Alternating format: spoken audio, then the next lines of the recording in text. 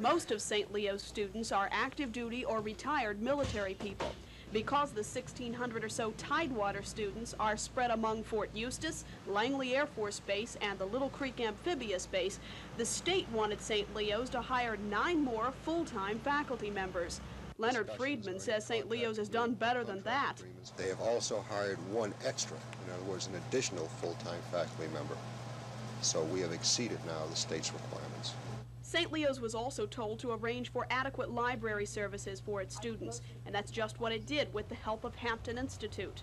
We have entered into a contract in the Tidewater Area Center with Hampton Institute for, for a fee, and we will issue library cards to our students, and they will have full-time use of the Hampton Institute Library. The cost of that library agreement and those 10 full-time faculty members will be reflected in tuition, but probably not until after the first of the year.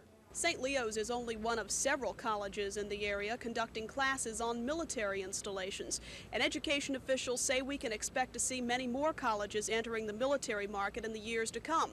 The reason the children of the post-World War II baby boom are now in their mid-20s and 30s, and colleges will have to schedule more classes around full-time jobs and families.